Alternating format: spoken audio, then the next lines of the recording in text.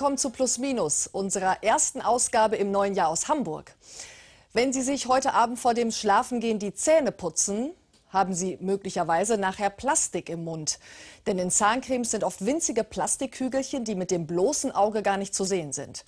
Die sollen helfen, die Zähne besser zu reinigen. Dieses Mikroplastik ist auch in einigen Duschgels oder Gesichtspeelings drin, allerdings auch in Lebensmitteln. Doch was haben die da bitte verloren? Kann ihnen passieren, dass sie auf einmal auf einer riesigen, abgeholzten Fläche stehen, mitten im Nationalpark.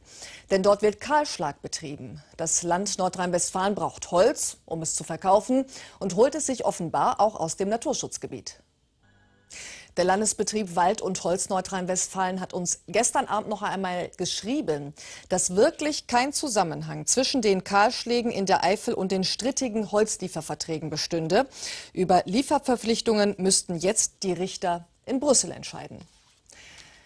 Wir könnten momentan fast Frühlingsgefühle in Deutschland bekommen. Es ist mild, von Winterwetter keine Spur und es macht sich auch auf dem Arbeitsmarkt bemerkbar.